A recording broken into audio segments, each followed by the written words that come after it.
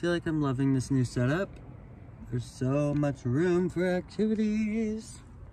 It's quite a perfect convertible setup. I can sit on the floor, put the keyboard on the bed, and play piano there. This new bed setup is a lot more cozy too. Because I have not been sleeping well the last few nights. However, I am ready for it to bring on the summer sunshine. I'll probably be regretting that statement as soon as it's too hot to sleep in a week here.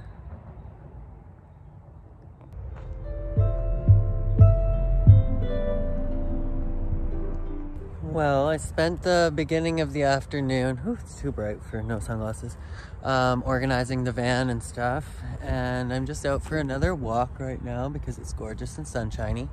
Still below 10 degrees, but at least the sun is nice. Tomorrow is the big day where I'm getting a tooth yanked. I have a wisdom tooth in the back that's been growing in sideways, so getting that baby yanked out tomorrow and then a filling replaced one of those old silver amalgam fillings. That.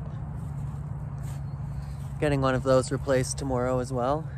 I'm not looking forward to the $700 that i'm going to be spending on it tomorrow but it's always good to look after your oral health also, I spent the last couple weeks working on a Judy Garland documentary, so that is up over on my main channel now. It is called The Cost of Child Stardom, The Manipulated Life of Judy Garland.